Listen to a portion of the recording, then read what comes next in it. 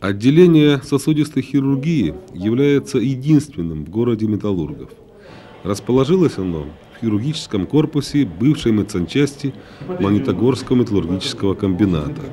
Ныне это вторая городская больница. В день наших съемок здесь шла плановая операция на сосудах, очень сложная, требующая максимальной собранности и высокого уровня профессионального мастерства от хирургов. Оперировал заведующий отделением Вадим Валентинович Емельянов, который только через несколько часов после того, как больной был отвезен в палату реанимации, смог ответить на наши вопросы. Думаете ли вы развиваться, если это так, то в какую сторону?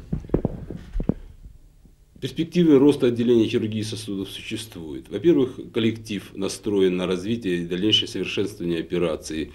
Количество операций, производимых нами в отделении, не отвечает тем потребностям, которые существуют в целом. Профессиональный уровень хирургов позволяет делать достаточно сложные операции на, э, как на брахиоцефальных артериях, э, то есть на сосудах, питающих головной мозг, так и на ветвях брюшной аорты, операции при аневризмах брюшной аорты, операции при э, поражении бифуркации брюшной аорты и периферических артериях. Однако перспективы роста связаны, во-первых, с некоторыми организ... Э, реорганизациями отделения, а также с его э, э, а также связаны с, с, с дополнительным оснащением отделения, с оснащением, вернее, с, с укомплектацией кадров отделения. Дело в том, что в отделении хирургии сосудов в настоящее время работает всего 4 ангиохирурга. Вадим Валентинович, а есть вещи, которые вам не подвластны? Ну, в силу того, что не хватает профессионализма у людей или техники не хватает, уровня техники? Да, есть операции, которые, э, которые мы э, в своем отделении не выполняем. Из сосудистых операций это прежде всего операции при коарктации аорт и при э, эмболиях легочной артерии, тромбоктомии, эмболоктомии из легочной артерии. Это та операция, которая осуществляется с использованием искусственного кровообращения, которая в городе Магнитогорске, которого в городе Магнитогорске нет. Идея э, создания отделения хирургии сосудов в городе Магнитогорске принадлежала безвременно ушедшему из жизни э, профессору кафедры госпитальной хирургии Челябинского медицинского института, профессору Юрию Ивановичу Малышеву.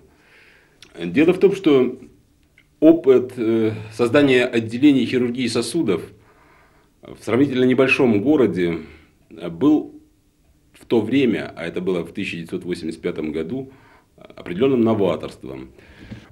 Когда на Магнитке на деньги рабочих комбината был выстроен этот замечательный диагностический центр, в его структуру было заложено отделение ангино-рентгенологии, которому, кроме чисто диагностических задач, поручалось выполнение операций на сосудах – развитие нормальной сосудистой хирургии без хорошей диагностики невозможно. И это отделение было организовано именно под сосудистое отделение для того, чтобы была адекватная э, диагностика с последующей уже операцией. Это основное, в общем-то, наше направление, основное звено. Мы в год выполняем где-то порядка 700 диагностических исследований э, артериальной системы. Но кроме этого существует еще в последнее время оно вообще широко используется на Западе, и у нас прижилось, в общем-то мы активно этим занимаемся, это рентгенхирургия. То есть мы сами непосредственно делаем операции под рентгенконтролем с помощью красивых катетерных методик. То есть э, суть в этой методике заключается в расширении баллона, баллона специальным баллоном места сужения, с установкой в это место специального каркаса металлического, так называемого стента, в последующем ну, планируем вообще вопрос решить полностью закупорка сосуда, прохождение тех зон и установка там всевозможных баллонов и стенозов и так далее. В принципе, есть у нас хорошие, в общем-то, и клинические результаты. Вот на данных рентгенограммах мы видим установки, в общем-то, стентов.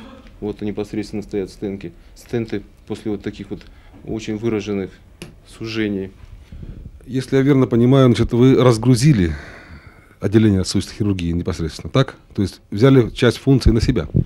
Не, ну по большому счету, конечно, еще, в общем-то, э, количество наших рентген-хирургических манипуляций не такое большое, в принципе, вот в 95 году мы их выполнили 40 50, в общем-то, таких исследований, если хирурги делают порядка 300 исследований, но, в принципе, перспектива за этим.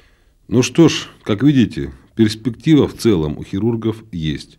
А значит, есть и надежда на исцеление у магнитогорцев. Андрей Хиловский, Валерий Гиммерверт, Алексей Челейкин специально для Кентавра.